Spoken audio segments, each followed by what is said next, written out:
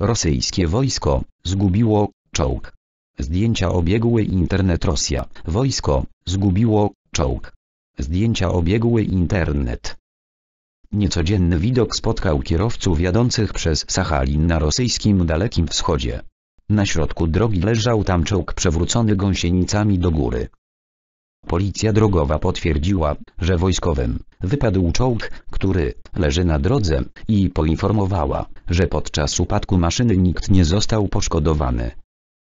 Przy upadku pojazd przewrócił się i upadł tak, że wieżyczka czołgu leży na ziemi, lufa opiera się o asfalt, a dno pojazdu wraz z gąsienicami znalazło się na górze. Wielu kierowców przejeżdżających obok aut nie mogło się oprzeć chęci sfotografowania czołgu, porzuconego samotnie na trasie wjazdowej do miasta Jużno-Sachalińsk, głównego ośrodka regionu.